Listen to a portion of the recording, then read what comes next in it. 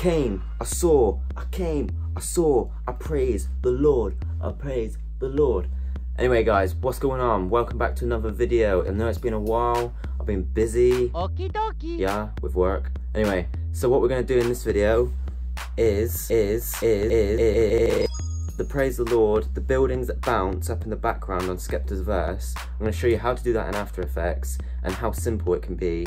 Um, and yeah it's a really powerful effect if you know how to use it. And we're going to be using the puppet tool um, and that should easily achieve what you see in this video today. So let's get on to it. Here we go. yo so let's get into it. So what this is the this is the effect that we're going to be doing. So if you look at the building now you'll see it they bounce in a bit here you got some bounce it looks quite nice.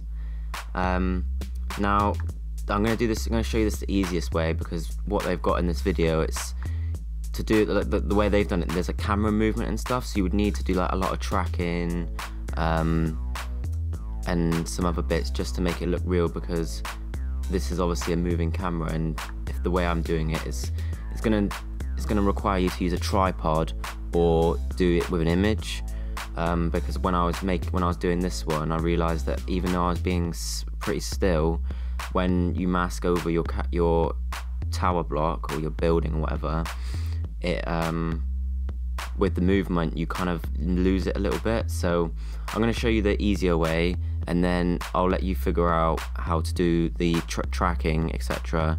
Through you can look at my other tutorials on how to track, and you'll be able to figure it out. So let's get into it then. Um, if we create a new composition. Um, we'll just call this building bounce.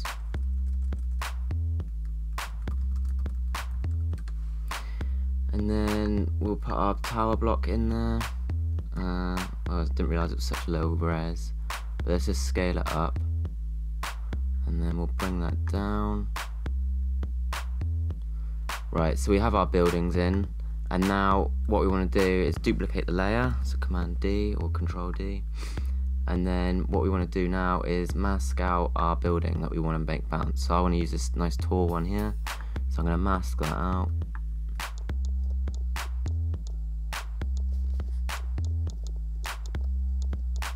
Now once you've got that masked out you know I'm doing it quite rough but you want to obviously take your time and make sure you go over it nicely.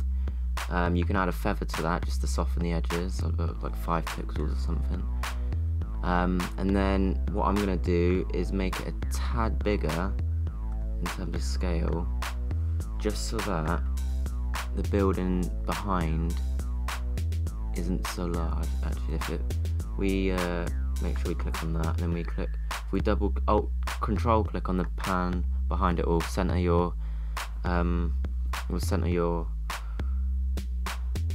the anchor point. It will center the anchor point, and then when we scale up, it will center. It will scale from the center.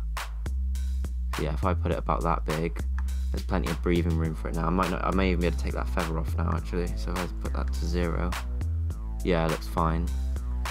Um, and now this is really simple. This is this is this is how easy it can be. Uh, click on your layer, and then go up to here, and what you want to click is the puppet position pin tool click that and then you want to make your points. So you obviously want one at the top and then one at the bottom. And then you also want to put some on the sides to create a little bit of a like bulge when the building goes up and down so it doesn't just look like it's stretching inwards. Um, and then if I just pause down a bit. And now if I move if I'm correct it should yeah it should be keyframe so if I go forward now in time and then pull the building down let's just pull it down to like just before that that cuts off actually. Should be fine. And then pull these out a little bit.